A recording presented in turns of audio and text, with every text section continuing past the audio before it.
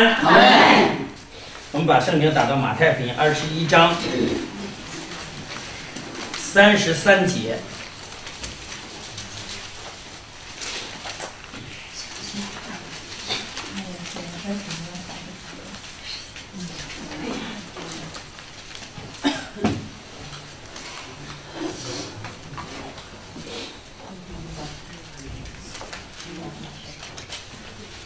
三十三节，二十一章三十三节。耶稣为新约圣经二十七页，马太福音二十一章三十三节。那我们开声来朗读这一段经文。一、二，你们再听一个比喻：有一个家主栽了一个葡萄园，周围圈上篱笆，里面挖了一个压酒池，盖了一座楼，租给园户，就往外国去了。收果子的时候静静的，就打发仆人到园户那里去收果子。园户拿住仆人，打了一个，杀了一个，用石头打死一个。主人又打发别的仆人去，比先前更多。园户还是照样待他们。后来打发他的儿子到他们那里去，意思说他们必尊敬我的儿子。不料园户看见他儿子，就彼此说：“这是承受产业的，来吧，我们杀他，占他的产业。”他们就拿住他，推出葡萄园外杀了。严主来的时候，要怎样处置这些园户呢？他们说要下毒手除灭了这些恶人，将葡萄园并归给那些按着时交果子的园户。耶稣说：“经上写着，匠人所砌的石头，已经过房角的在手，这就是主所做的，在我们眼中看为稀奇。这经你们没有念过吗？所以我告诉你们。”神的国必从你们夺去，赐给那能结果子的百姓。谁掉在这石头上，就要跌碎；这石头掉在谁的身上，就要把谁砸稀烂。祭司长和法利赛人听见他的比喻，就看出他是指着他们说的。他们想要捉拿他，指使大众人，因为众人以为他是先知。好，感谢主的恩典，我们一同来闭目，为今天所查考的凶恶圆户的比喻向神祷告。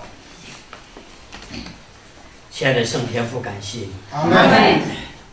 因为你爱我们，阿门。你将这么奥秘的事交给我们。阿阿门我们是天国的子民，阿门。是蒙受你拣选的一群子民。今天你把我们带到你面前。亲自要将这比喻解释给我们，阿门。使我们听见你所解释的比喻。我们的心里就得以开启。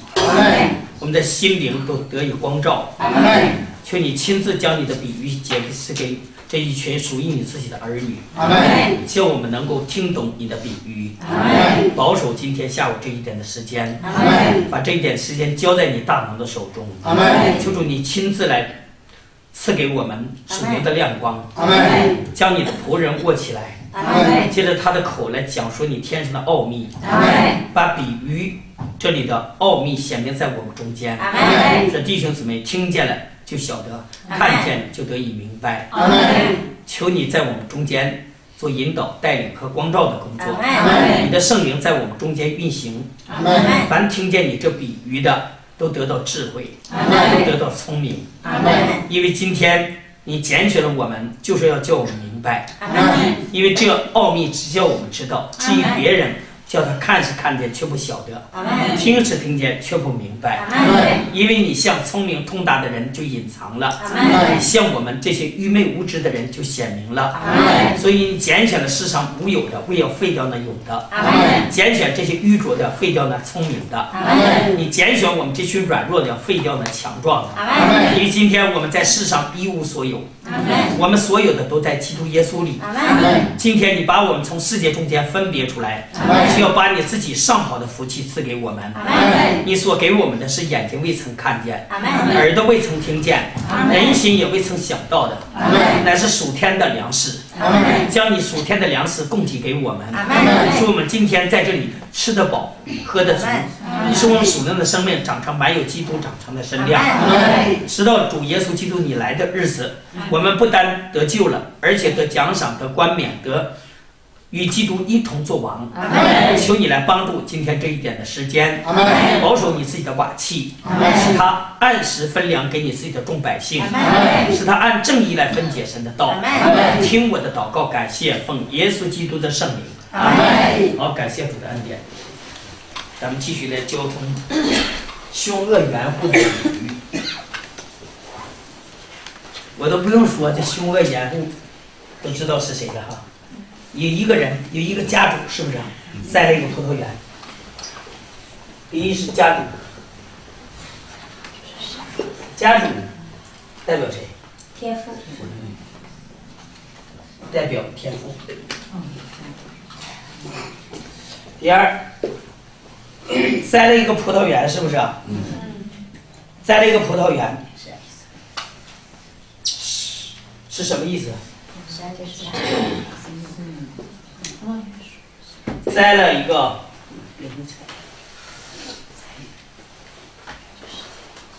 栽了一个葡萄园啊。葡萄园代表什么？天家。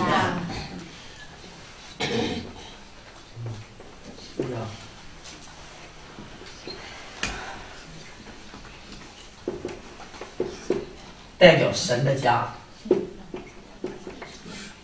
以色列国家，是不是啊？但今天这个国家不是神所要的，代表神的家。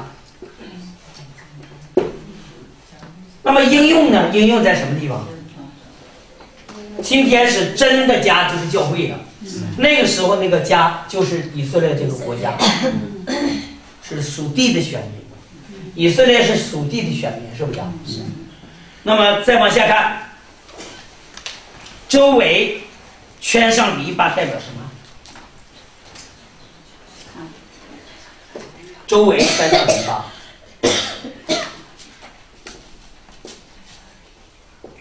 圈上篱笆是不是啊？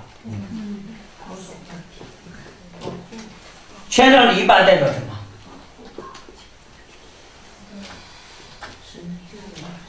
是不是？啊周围圈上篱笆，代表蒙神能力保守，是不是啊？代表神用能力荫蔽着这个以色列民族，蒙神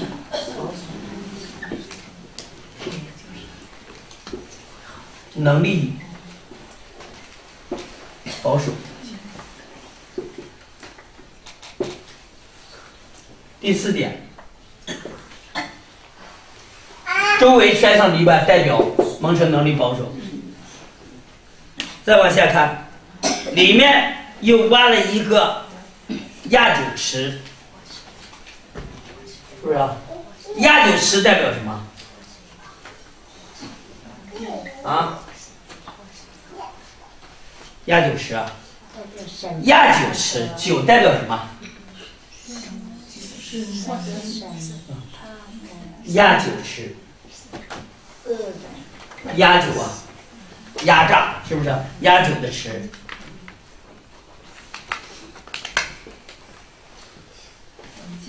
代表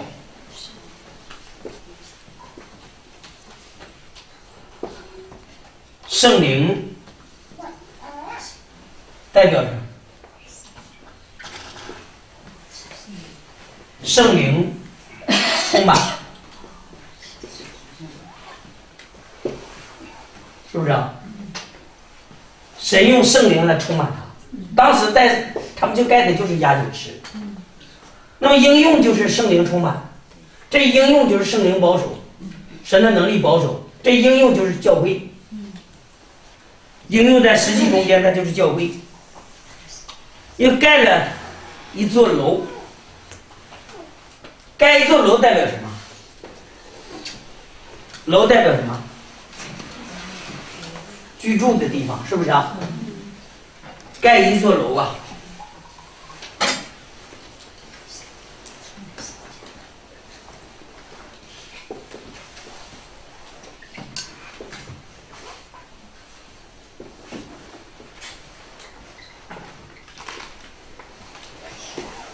代表属灵的工程、属灵的建筑，是不是啊？应用就是代表属灵的建筑，或者属灵的工程，盖一座楼嘛。这一座楼是居住的地方，是不是啊？代表基督的身体，盖一座楼，人居住，这是基督的身体。往下看，租给了原户，原户代表什么？租又代表什么？是不是租给了原户啊？租代表什么？不是他的临时代表，临时临时的租代表临时的属给他管理，代表临时给他管理，是不是啊？临时管理。也就是说，以色列这个民族是神家临时的一个管理。是。原户代表什么？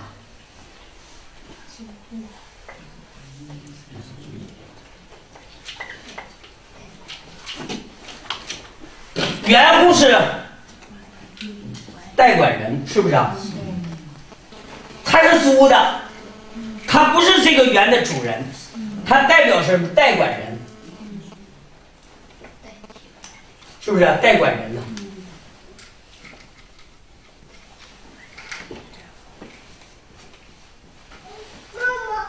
再往下看，他就往国外去了，代表什么？啊，他又往国外去了，代表什么？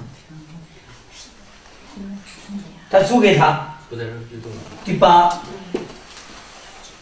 他代表到天国里，是不是啊？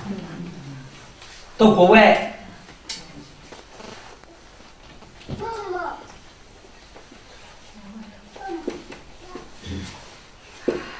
代表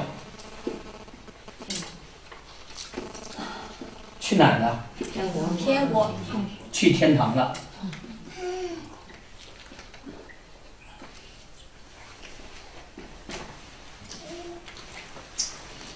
再往下看，收果子的时候代表什么？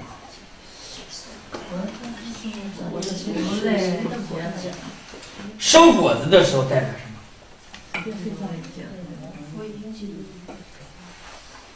是不是？收果子是不是？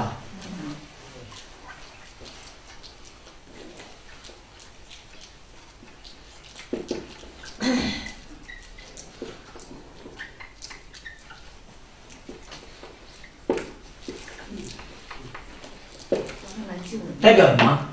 收果子的时候代表什么？到神要属灵的果子的时候，对不对？这是属灵工程，得要属灵的果子。葡萄园代表什么？神的家。神的家既然种葡萄，需要收果子，就是到了收属灵果子的时候，代表到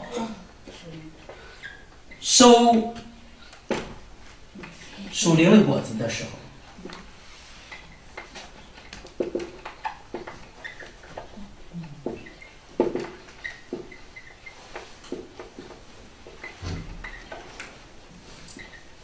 是不是？啊到这个时候，他在打发仆人到原户那里去。仆人是谁？众先知。众先知，对不对？这是第十打发仆人，仆人代表什么？仆人代表先知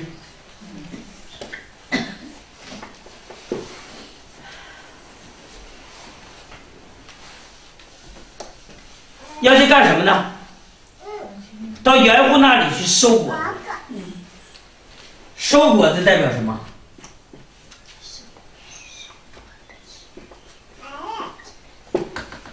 收果代表什么？神要一些属灵果子，是不是？是。神要福音的果子，他有没有？没有。第一，圣灵的果子。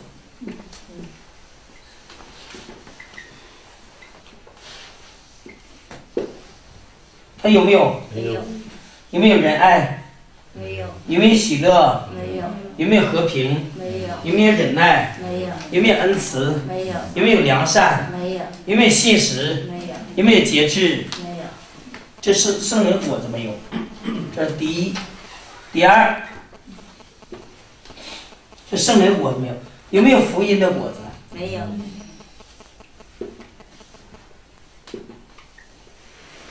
这为什么没有呢？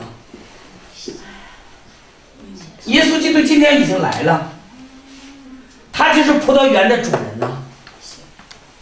他站在这个世界中间，是不是？他以肉身显现，他第一道成肉身就道成肉身在以色列国，是不是啊？是。那么今天为什么以色列这个民族没有果子呢？他不信。果子哪去了？他们不结果子，是不是啊？耶稣多次多方的用无花果树不结果的无花果树做比喻，就是要证明什么？犹太人是个不结果子的树，是吧？没有好果子。他为什么没有好果子呢？用肉体，用律法，靠律法不靠福音，不接受耶稣基督。不接受神的儿子，信神守律法，能不能结出果子？这个信心是没不结果子的信心，这个信心是没有好行为的信心，是不是啊？所以呢，第三点，第三点，他这里边圣灵所结的果子，他们里面没有，是不是啊？福音的果子有没有？没有，没有，没有果子，要什么没有什么，对不对？那么最后呢？他靠着律法结出好果子了吗？没有，没有好果子。靠律法没有结出神所要的果子，对不对？他说好行为，天天要求好行为，好行为有没有？没有。好行为的果子，有多少人要求好行为，没有好行为的果子？圣灵没结果子，福音果子在里面，好行为也没有，所以它是什么树啊？是个什么树？坏树是不是啊？坏树结出什么果子？坏果子。好树结出什么果子？好果子。好树不能结，坏树也不能结好果子。好果子，这是一个不结好果子。到收果的时候，收这些果子有没有？没有。没有。圣灵所结的果子，爱、喜乐、和平、忍耐、恩慈、良善、信实、温柔、节制，在他中间找不到。他们也不是传福音的。他非但不传福音，耶稣来了，他成为拦阻福音的人。是。别进去啊！所以他成为拦阻福音的人。他们天天守律法，有没有好行为？没有。没有好行为，所以没结出这样的果子。到收果子的时候，去要果子，他们非但交不出来果子。因为他交不出来，是不是啊？他没有这些，他交不出来，他就怎么办？逼迫、杀害，要什么果？哪来果呢？是不是啊？他本来不能结果的，是不是啊？好，开始，他们就开始动手脚了，就开始谋害。好，再看，再看啊。严户拿住仆人，打了一个，拿住仆人，代表什么呢？是不是啊？拿住是抓住的意思，是不是？是。拿住仆人，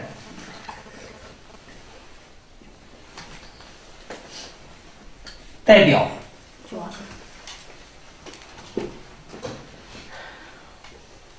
一说拿住了，那是那就那就怎样？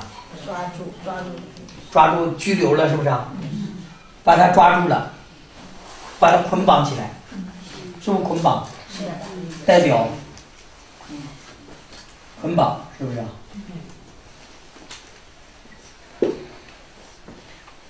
第十三，拿住仆人，打了一个，打代表什么？打了一个，代表什么？逼迫，逼迫，逼迫谁呢？先知逼迫先知。杀了一个，杀谁？先知是不是啊？打了一个，杀了一个，杀谁？先知杀了一个，是一个吗？不是杀了一个是代表，是吧？打了一个，杀了一个，代表什么？杀害先知。呃，杀了一个代表，杀害先知。先知是谁采取的？山神神采取的。往下看，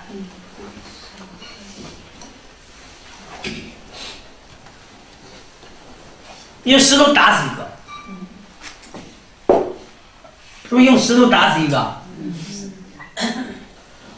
用石头打代表什么？犹太人的律法，按律法定先知死死罪，是不是啊？按律法打。杀了一个呢，按世上的人杀；打了一个，最后又用石头打死一个。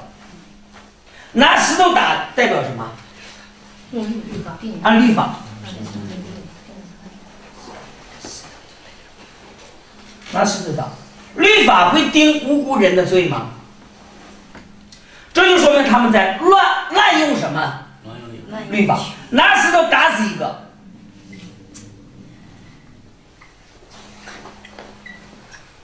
一个代表什么？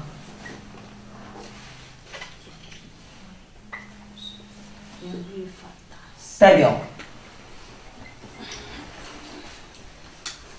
代表什么？打死先知烂是四三就是加个加个监子监加个监，监管监监督的监这个戒对对对，滥用律法，定一人的罪是不是滥用律法？是拿石头打谁代表滥用律法？定谁的罪？一人的罪耶稣讲这话是有目的的。他们杀人得找着依据，是不是啊？嗯，他们守不守律法？守。但他滥不滥用律法？滥用滥用律法。你看，哪种仆人，是不是收果子时候正不正常？就要果子，正常要果子。主人打发一个仆人去到收果果子的时候，管他们要果子，能不能拿出果子？拿不出来他们是不是租户啊？对是不是租的葡萄园？是租的葡萄园，这个葡萄园是不是他的？不是那么今天应用是怎么应用的？今天整个普普世教会有很多人是租户，一说租户，他就不是这个葡萄园的主人，是不是啊？你今天是不是葡萄园的主人？不是你是不是啊？是你是神家里的人，你是儿子，这就说明他是奴仆。奴仆本不是这葡萄园的主人，神临时给他监管是，这葡萄园临时租给他，就像怎么呢？我今天租的房子和你家买的房子一不一样？不一样租的房子不是你家的房子，你可以有住的权，在在租这个权限中间，这时间权限权限中间，你可以有住的权，你有没有卖的权？没有你没有卖的权，你没有拆迁的权，没有，没有拆迁的权。你没有有没有随便改迁这个房屋的权？没有，改设改这施工有没有权利呢？没有你没有权利，你只有什么权？租权。你有住的，在临时按照合同在租的这个过程中间，你有这个过程中间的什么权呢？住的权。没有什么权呢？卖卖的权。还没有什么权呢？改改造的权，是不是啊？你随便在屋里改造可以不可以呢？不可以，不可以的。如果要改造，你得通过那个房主的同意，是不是啊？不然的话，你自己随便改可以不可以？不可以，一说租户就是旧约的，旧约所有的人都是租户。这是神的家，他属于租户。既然是租户呢，那么他就是一个租赁者，是不是啊？他是个租赁，他是租赁的房屋，你没有资格来超权这个房屋权，是不是？这个葡萄园不是你的，是谁的？是天赋的，是不是啊？最后拿石头打死一个，代表什么？杀了就行了呗。但他这里不说杀了，他说拿石头把他打死，这就说明他们经常的滥用律法，对不对？应用今天在教会中间，他们滥用，是不是、啊、律法？滥用教圣经中间的话语来定别人异端，滥不滥用？神差遣人传正道的，他不听，他说异端，滥不滥用啊？滥用圣经，滥用什么呢？滥用律法。犹太人滥用律法，今天应用在教会中间，他们也在滥用律法，是不是？律法都要成全，滥不滥用？滥用。他们拿着律法定别人罪，他拿着律法定教会弟兄姊妹的罪，他拿着律法把人定艺人的罪。今天他们也拿着旧约的律法也定新约人的罪。是你不守十一奉献，你说咒诅，滥不滥用？滥用咒诅人滥不滥用？跟他们拿石头打死的一不一样？一样，一样的，他也逼迫你，他也要辖制下面手下的。但这群人拿着律法滥用去来打定义人的罪，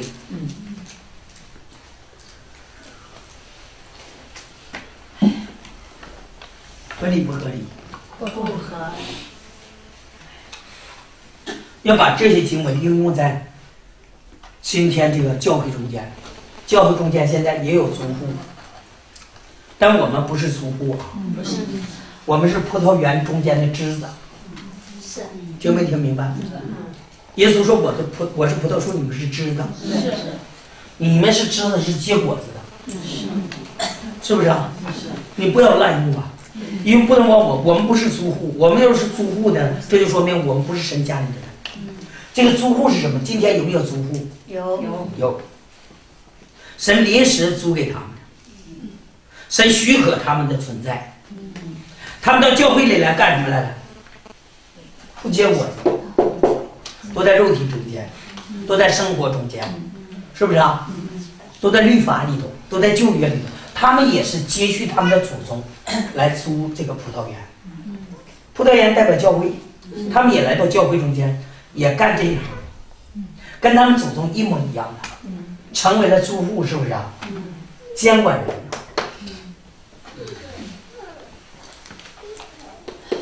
是不是啊？咱们属到天国去，到国外去了，代表已经在天堂上，是不是啊？收果子的时候，神也要要果子，要不要果子？要对。那好树能结好果子，坏树不能结好果子。是，神跟他要果子的时候，他能不能拿出来？不能，他拿不出来，神就打发仆人去收割。去收那份果子，去要果子，打发先知来，是不是啊？一收果子，他拿住仆人，就开始逼迫，是不是啊？今天咱们传正道，正是要把这果子显明出来，是是不是？但他们没有果子，他就开始逼迫你。你在讲的时候，你在讲真道的时候，他们就开始逼迫你，是不是啊？讲真道人才能。信真道才能结果子，是不是要果子？是但他们信假道有没有果子？没有没有果子，他们就是那个凶恶的缘故。凶不凶恶？凶恶，太凶恶了。在网上攻击不算，在地面上攻击维权，这是社会人，是不是啊？对，社会人讲不讲理？讲理。教会人讲不讲理？不讲理不讲理。为什么？为什么呢？社会人为什么讲理？啊？他不懂吗？他不懂，他不他他调查一下的，他调查完了之后，他才能给你定成异端。对，他对东方闪电的社会人呢都调查完了，才定成东东方闪电是什么教？邪教，邪教是不是啊？他调查完了才定成邪教的，他不随便定邪教，他调查完李洪志才给他定成邪教的。讲讲理，社会人讲理，到到教会里头不讲理了。你现在教会本身是讲真理的地方，是不是啊？讲真理的地方讲不讲理？教会本身讲真，应不应当讲理？应应当当讲理。但相反，社会讲理的，教会不讲理的，原因是因为在教会这一群人是租户。现在教会很多领头人是租户，是的，不是这教会神家的主人，是他也没明白救恩，谁也没开启他们，他们比社会的人更怎样？更凶恶，凶不凶？凶，他巴不得你死了，你谁传真道真道你就得死了，就跟他们一样，巴不得拿拿石头打死你。假如这是旧约，国家要允许打人，第一个教会出现的那些凶恶的缘故，就能把我打死。你信不信？将来真的国家要许可打的时候呢，这群人出来就得把把我打死。你信不信？信他们会想方设法，这就应用在这个今天这个时代中间，这些凶恶的缘故，不说脱生啊，他们又来到这个世界，他的后代又来到这个世界了，就是这群凶恶的缘故，他们的后代又来到这个世界，换汤不换药的，从以色列没移到中国来了，都是他们的后代，他们是杀害先知的后代。耶稣已经告诉他，你们就是杀害先先知的后代，是不是后代？是他说你们的祖宗怎样，你们也怎样，这是耶稣说的话。你们就是杀害先知那伙人，修饰先知的坟墓，是不是啊？他们自己承认，要是我们在那个时代，我们绝对不杀害先知，是不是啊？所以他修饰先知的坟墓，证明什么？他们是先知的后代。他说这话证明他是先知的，不是他们是那个凶恶的后代，是不是啊？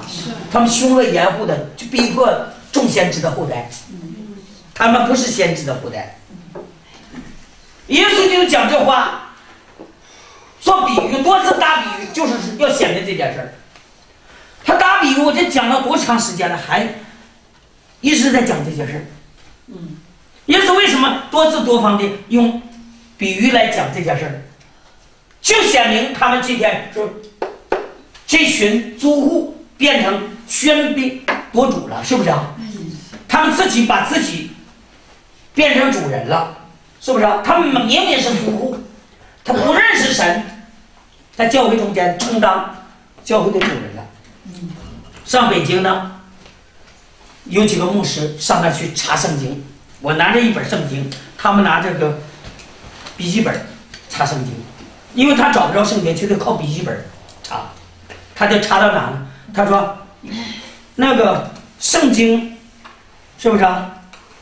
保罗，我说保罗从来没有说到，我说认自己的罪，没他说有啊，我说在哪？加拉太书啊。我说加拉太书哪一章哪一节？哪一张呢？哗哗哗哗哗打电脑，天哪！打了半天没打出来，我说别找了，加拉太书里没有。旁边那人不在加拉太书里头，在约翰一书里头。这个，呃，咱就不查这些经文了吧？咱们这样吧，我跟我的信徒说一说。我说你，你说什么呢？谁是你的信徒？他说那是你的。我说主的。他说他跟他的信徒说句话，我正好在那讲道，他说那群信徒是他的。我说你们是他的，是主的。大伙说主的，他的脸啪就红了。是不是喧宾夺主啊？他把自己当成是这教会的主了，是不是啊？所以为什么这么仗义？是不是？仗不仗义？这葡萄园是不是他的？不是。霸不霸道？霸道。简直就是盗贼，是不是啊？就是强盗，一伙的。他为了霸占，所以他主差遣的先知，杀了、打了、逼迫、赶出去，是不是啊？是。再差遣一个。又打，又打，又打了，照前面一样行。嗯，是。他们怕不怕神呐？不怕，不怕神。不信你有一有时你们有时间到那个三智会堂里头。去过了。你到那里去。你说牧师啊，我跟你说一件事儿。或者长老啊，我跟你说件事儿。你可以问问他。你说王一浩讲的道对还是不对？我应不应当听？你看他这反应是什么？不对啊，一端。不对，一端。两个手不对，不能听啊，那是异端。牧师，你听了吗？我不用听。那你不听，你怎么知道是异端呢？因为他查圣经，所以他是异端。凡是异端都查圣经。哦。那查圣经就是异端，不查圣经就不是异端，是不是啊？呃，对，不查圣经。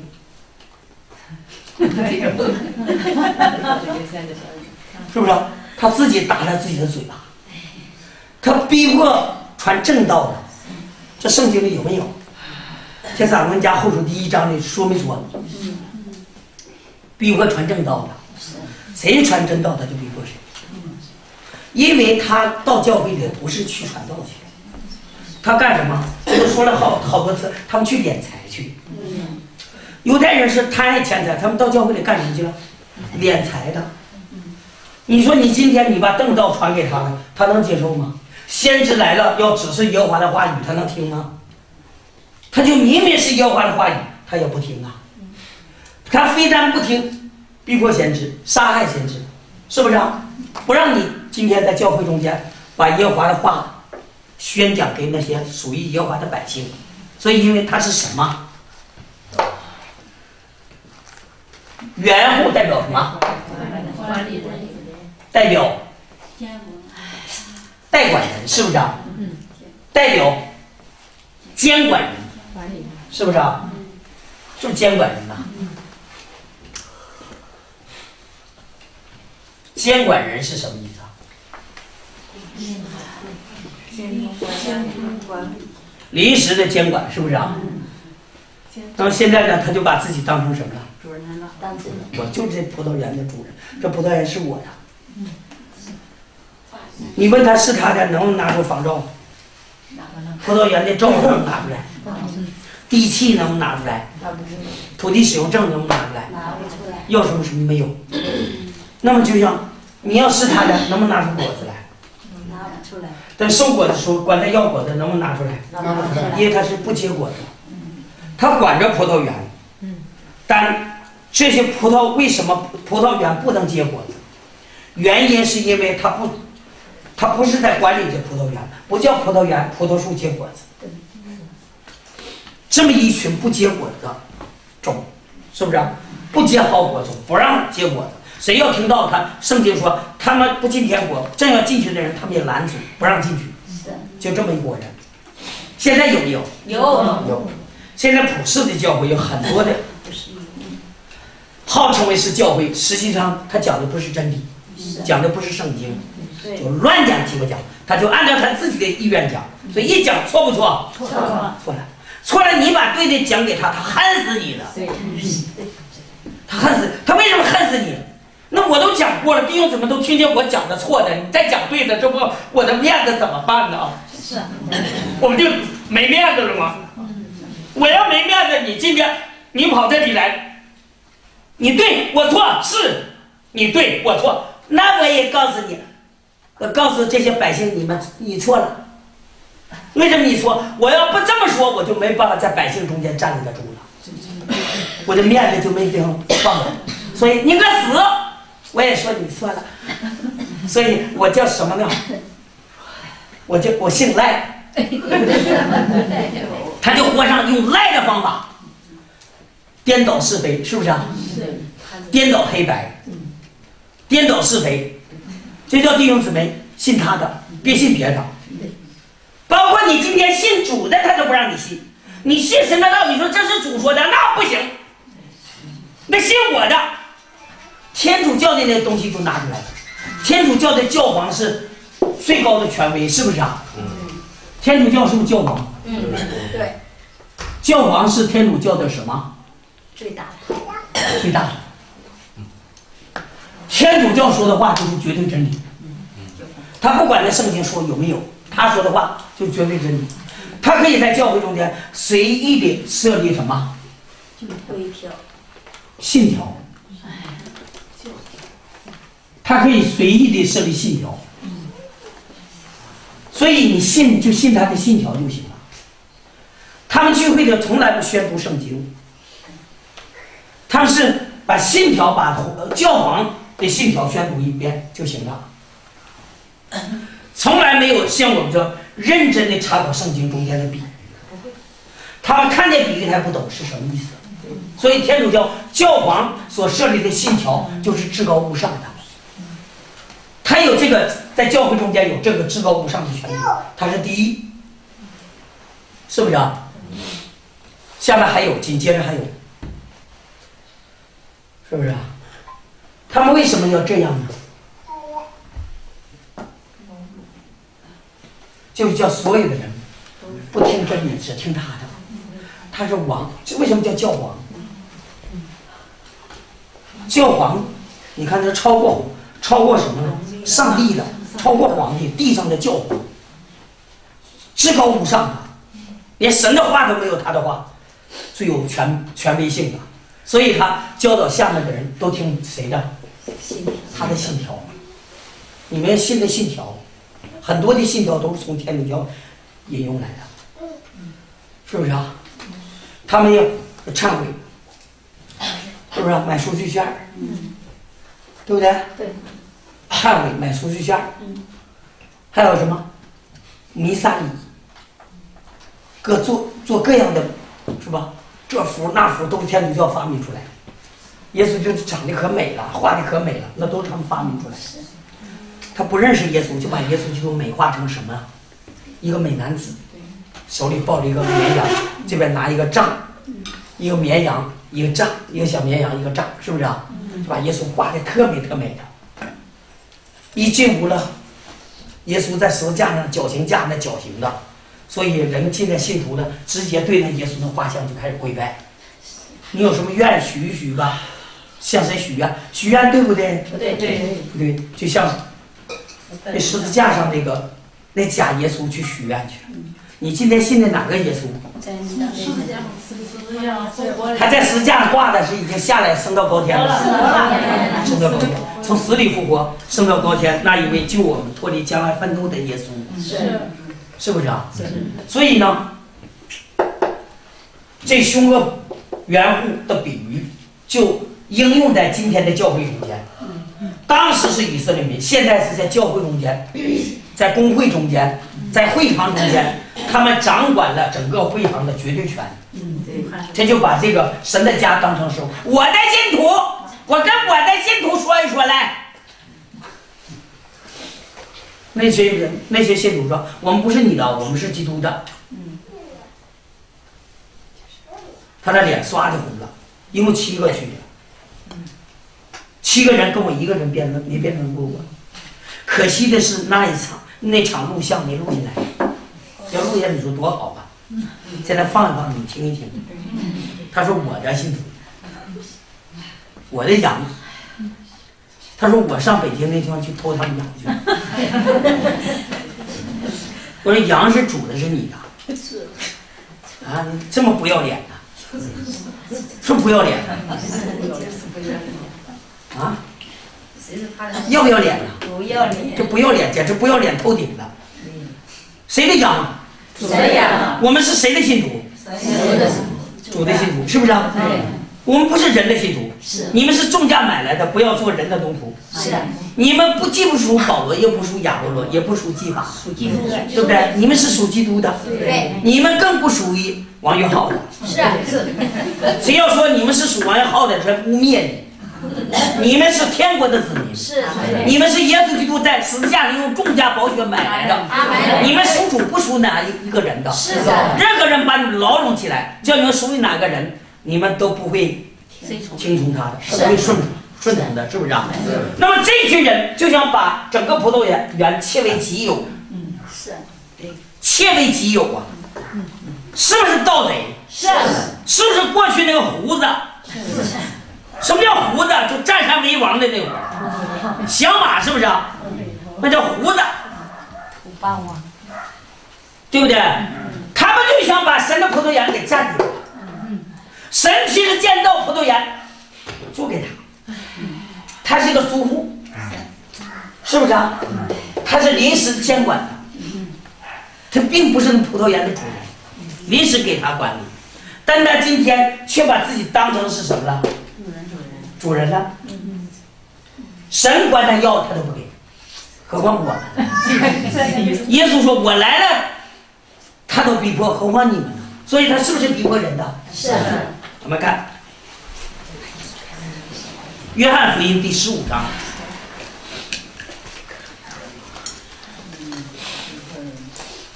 找到没？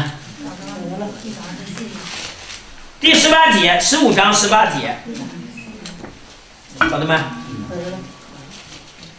世人是恨你们，你们知道，恨你们以前已经恨我了，连生儿子他都恨，何况我们呢？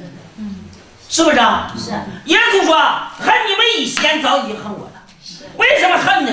因为你来管他要果子，他不恨吗？因为你来要收神所当得的那份，他不恨吗？恨不恨？今天你传正道，要把那些神属于神的果子。属灵的果子，重生得救的果子，归给神，他能干吗？你要走了，把这些人要走了，谁给他奉献呢？正如法利赛人说：“你行了许多的，他行了许多神迹呀，人都跟踪他，我们怎么办呢？我们这嘴谁供应？我们还有这多大肚皮的、花肚脐的，这谁来供应呢？他们到教会里干什么去了？”为哪儿？有许多人的神就是自己的肚腹，是不是？是。他们到教会来，绝对不是要带领弟兄姊妹进入生命的。他不给你讲生命之道。我这么讲，累死他他也讲不了。是不是啊？我这么讲到现在，就累死他们，他们也讲不了。我们接着讲到，使神所当得的果子出来。他一看你要果子来，不逼迫你，逼迫谁？你把那些人有生命的人带出来，叫他们信真道，气死他们，把他们眼睛都气歪了。他想方设法要干什么？逼迫你。有一天有机会的时候杀害你。说没说？世人恨你们，你们知道恨你们以先。早已经恨我了，这是耶稣亲口说的话。没恨你们以前，早已经恨我了。为什么要恨你们呢？因为凡要立志敬虔，在世上敬虔都是，都要受逼迫呀。保罗说：“有宽大又有功效的门为我开了，并且反对的人多不多？多。这个门是宽大的，又有功效的。是。一旦你把这个门开了，进去的这个有功效的门进去的人。”是不是啊？就要受到逼迫的。凡立志在基督耶稣里敬虔度日，都要受逼迫。是。你记住，要真正敬虔的，这就是果子。要真正属灵的，这就是果子。要重生得救的，这就是果子。要真道听信真道的人，属于神的儿女。所以你把这群人带出来了，他们的经济受不受到了威胁？是的，断没断了他发财的路？断了。有的人，潘子明已经知道那个人，还有孙弟兄知道那个人。听完我讲到了，王弟兄，你讲的道是世界最棒的道。我这么多年我都没听你讲这么好的道，世界最棒的道。但我不能接待你，因为你不讲什么了？奉献。十一奉献，我讲奉献，我我我讲的儿子的奉献，犹大支派的奉献和立位支派的奉献，我讲没讲？讲了。讲了。我讲奉献，但是我没讲什么，哪个奉献？十分之一。我没讲十一奉献，但你不讲十一奉献，我就不能接待你，因为你断了我发财的路。后面这句话是我加的啊。他是这么说的：“他说你讲是世界最棒的道，你讲救恩是无比的，但你不讲十一奉献，我就不能接待你。意思是说你断了我发财的路了。后面就加了六个点，那六个点代表什么？六个点，这六个点代表什么？省略号了。我不能接待你。讲是道是救恩是讲世界最棒的，再也没有一个人能超过你想的。”但最后呢，我不能接待你，原因是因为你不讲十一奉献，后面六个点。你能知道这六个点后面它的含义是什么？你断了我发财的路。你听听，他知不知道我们讲的是对的？知道。接不接待的？不接待。凡是今天为十一奉献不接待我的，都不是。家主要的，都是这凶恶的缘故，是不是啊？都是这凶恶的缘故。因为你要为我讲错道了，不接待我，我心甘乐意的，是不是啊？但你不是因为讲错道了，你因为我不讲十一奉献，我可不能欺骗弟兄姊妹。我一面讲甘心乐意，一面讲十一奉献。十一奉献不是甘心的。是立位支派，你不奉献就得死，就得受咒诅。我不能跟弟兄姊妹讲这话，对不对？对。我讲的是圣灵感动你，你就奉献，你就得奖赏，得冠冕，好不好？我讲的是被圣灵感动者奉献。你因为你是犹大支派的奉献。对。我讲的不是立位支派的奉献，没被圣灵感动，是日本鬼拿刺刀枪扎你，奉献不？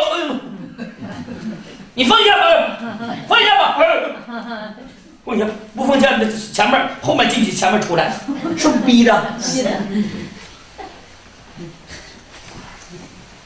日本鬼今天叫你当劳工，拿着刺刀枪对着你的后胸扎一下，去不去当劳工？呃，去去去去去。皇军，你大大的，好的好的，我我也是良民的，我我服从。是不是啊？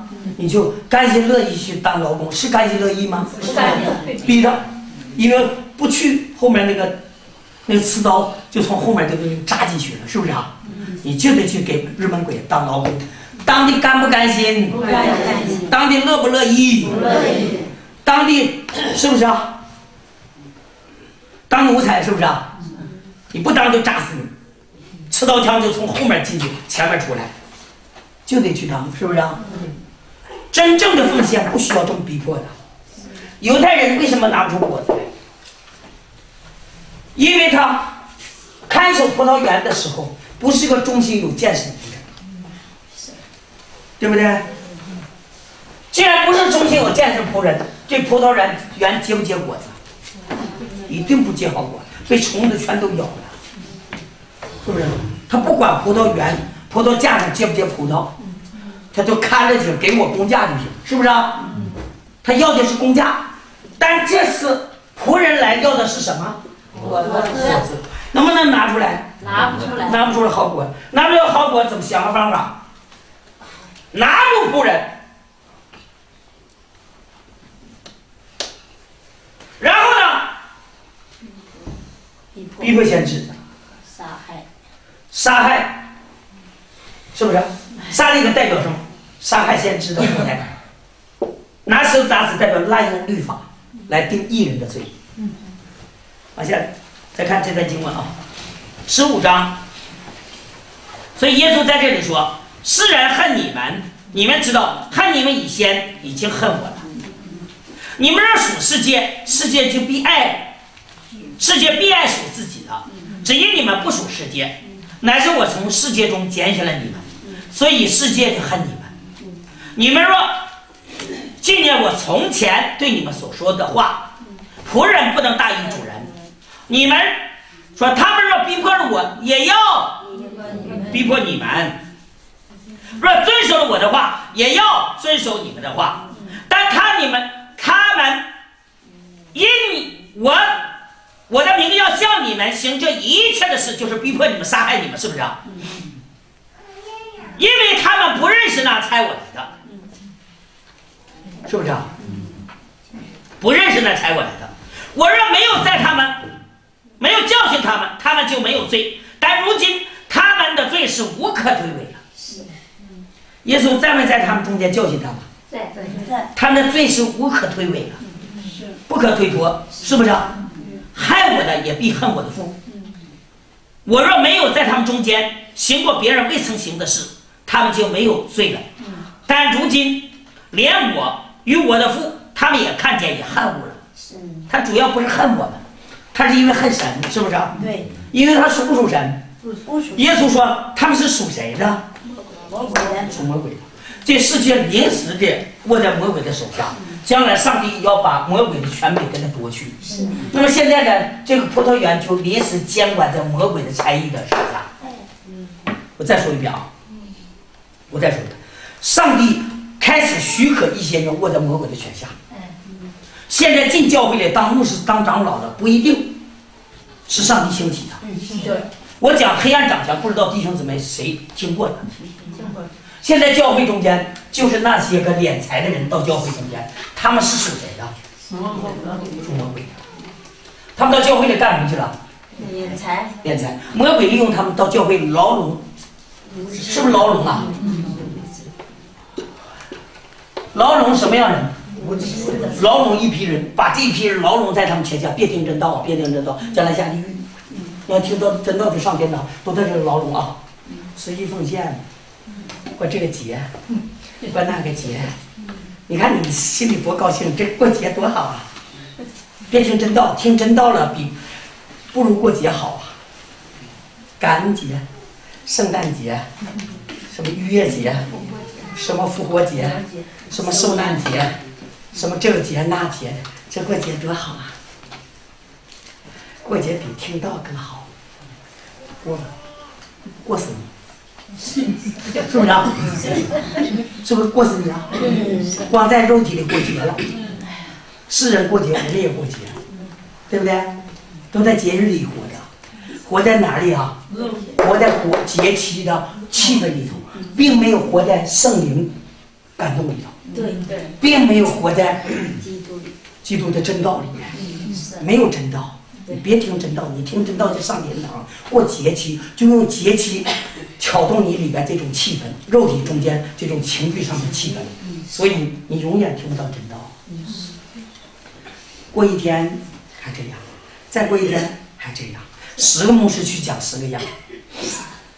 假如这个教会有三十个牧师，有十个牧师不用三十，十个牧师，这个教会中间所有下面的信徒永远不会明白真道。我敢说，永远不会明白真道。神为什么历史代兴先知就兴起一个，一个时代就兴起一个？你假如有十个，这教会算完蛋了。是不是？这教会一定会完蛋。这个牧师来讲一一个课题，我今天讲这个课题，讲多少个了？三十多讲了，是不是啊？我讲了三十多讲，一个牧师来讲。讲一个课题，忍耐。下个牧师呢，敬虔生活。下属灵生活。再下个牧师讲什么？讲什么？讲夫妻生活。再下一星期讲什么？跟上生活。成圣路，走成圣路。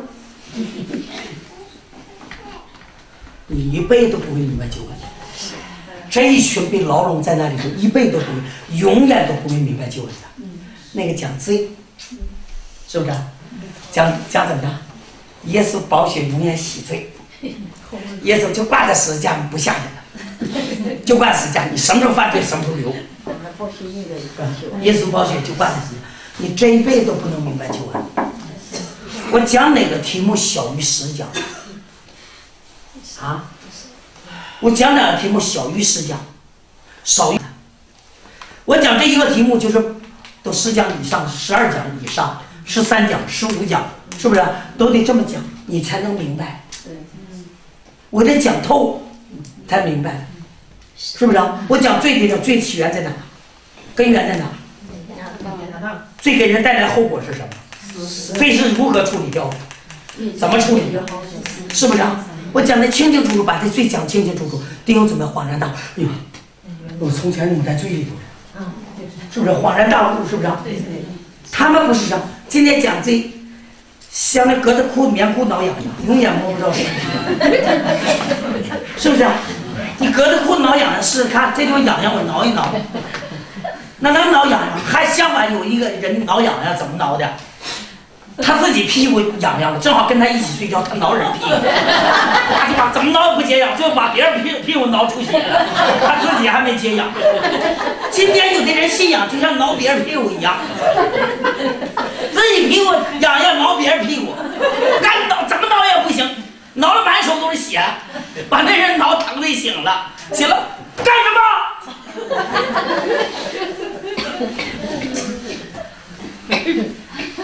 是不是啊？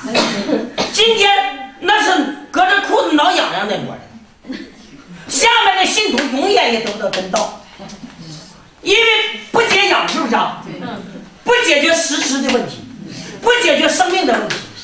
现在教会里不缺什么呢？不缺这个仪式，不缺信徒，不缺外框，不缺地点，不缺那些个这个节气那节气，这都不缺少。教会里缺少的是道，缺少真道，不缺少传假道的，但缺少传真道的，是不是啊？教会里现在就缺少真道，那些人全在那传传假道，一传一把那些人一糊弄的简直了，这一辈糊弄，就牢笼那些人，把那些人全牢笼在这里糊弄他们，直到最后死那天，眼睛都没闭上，人家别人死的时候。闭上眼，他死的时候眼睛嘴长，